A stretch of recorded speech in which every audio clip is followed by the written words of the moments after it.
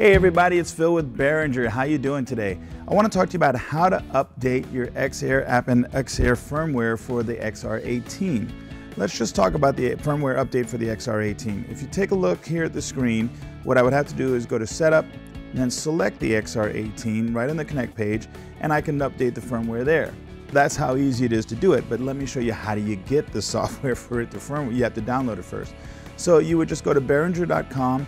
This is the product page for the X-Air XR18. You go to the downloads page and all the way down to the bottom, past the pictures, past the manuals, all that stuff like that, you'll see firmware.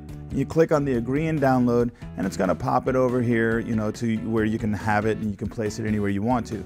I put it on the desktop for me. So let's go ahead and go back to the app. I go back to setup, that window's still open, and I go update firmware.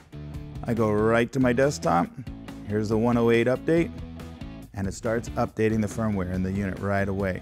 It's transferring it over there. As soon as it does that and it gets to 100%, it's going to say it's programming and then it's going to say it's going to reboot.